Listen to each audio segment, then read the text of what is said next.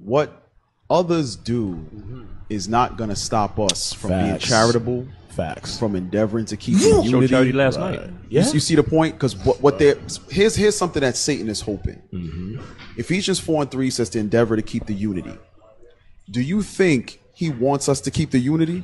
No, he wants us to gain the same bitter spirit that they have, Right. and then we, we we hold everybody at an arm's distance. Right. No, we still going to show the same charity because that's showing it to Christ. Right.